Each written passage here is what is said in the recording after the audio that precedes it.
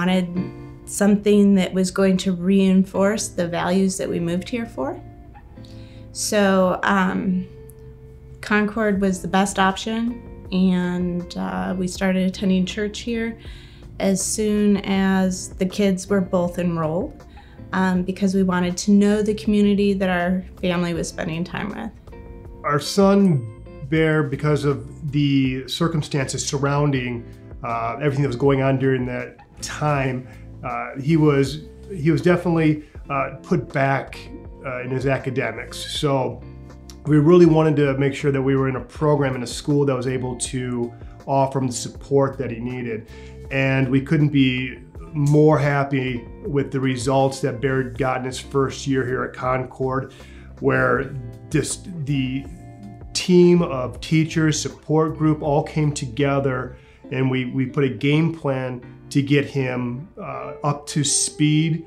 And within a within that this first year, he's up to almost skipping no, you know, not like he didn't even miss a beat. Was, everyone just dove right in, and the support was just absolutely amazing. We couldn't be more pleased with the uh, academics um, curriculum here at Concord. 18,000 hours in school where these where teachers have influence upon your kids and that we feel that if that much time is going to be spent influencing our kid, it needs to fall into our values that God is king and He is number one in our lives.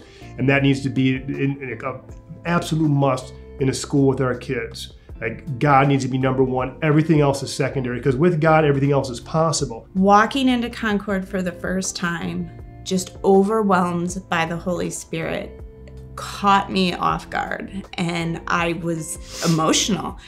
And I thought it was just me. And then I looked over at him and he was emotional, not crying.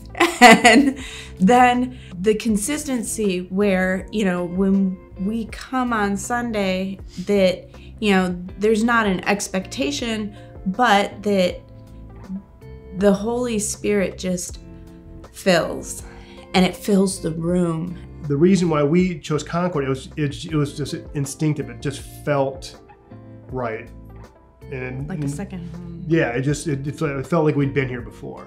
After that tour, we were walking out, and I looked at you and I was like, right. "You were right. This is definitely the place we need to be."